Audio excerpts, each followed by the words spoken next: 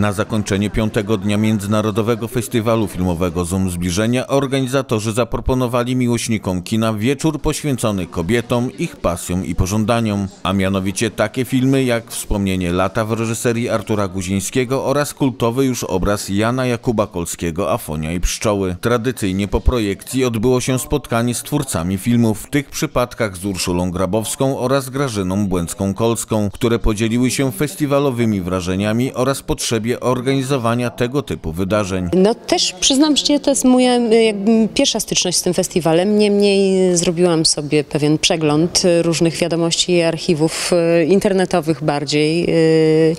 mm, A jestem w Jeleniej Górze zaledwie dwie godziny, ale myślę sobie, że publiczność w Jeleniej Górze po projekcji filmu tak wnioskuje. Jest bardzo wymagająca, więc trzeba czasem stawić, stawić czoła, bo zresztą przecież każdy ma prawo do swoich opinii, ale też jestem pod wrażeniem tego, że e, Jelenia Góra od 21 lat ma tak poważny międzynarodowy festiwal i niesamowite jest to, wiem, że partnerzy to jest firmowane przez miasto Jelenia Góra, niemniej zaproszenie przychodzi z tak zwanego osiedlowego domu kultury, co po prostu robi na mnie piorunujące wrażenie, ale wiem, że partnerów festiwal ma dużo więcej i, i, i życzę festiwalowi jak najlepiej. Ja uważam, że jak najbardziej są po- potrzebne. Pochodzę z małego miasta Łasku. Łask, Kolumna, wychowałam się. Były trzy kina, nie ma ani jednego.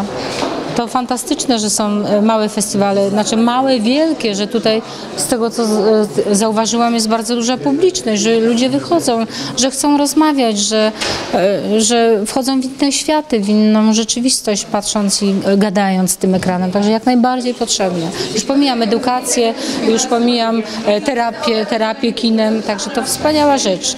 Piątkowy dzień festiwalu to także pokazy konkursowe. Uh. Dopiero wczoraj przyjechałyśmy wieczorem na festiwal. Jest dosyć, było dla nas bardzo ciężko dostać się z Rumunii do Jeleniej Góry.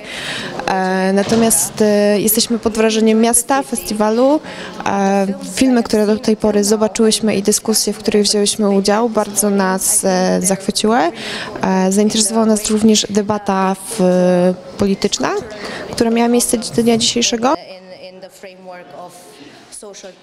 Zoom Zbliżenia to impreza, która na stałe wpisała się w kalendarz festiwali filmowych w Polsce. Organizatorzy nie ukrywają, że wydarzenie zaczyna żyć swoim życiem, co wymaga od nich olbrzymiej pracy, by ten organizm funkcjonował właściwie. Nadążamy za festiwalem, można tak powiedzieć, bo faktycznie puszczamy w ruch przeogromną maszynę, która się potem toczy jakąś e, siłą rozpędu, no ale też wymaga nieustannej e, kontroli i pielęgnacji, żeby wszystko odbywało się zgodnie z planem. Przed nami sobotnia gala finałowa festiwalu, która odbędzie się w Filharmonii Dolnośląskiej, a w niedzielę na zakończenie Zoomu obejrzymy Zjednoczone Stany Miłości z Magdaleną Cielecką. Po projekcji filmu spotkanie z aktorką, a o godzinie 19 zapraszamy do Zdrojowego Teatru Animacji na multimedialny spektakl muzyczny Milczenie Syren z udziałem tejże artystki.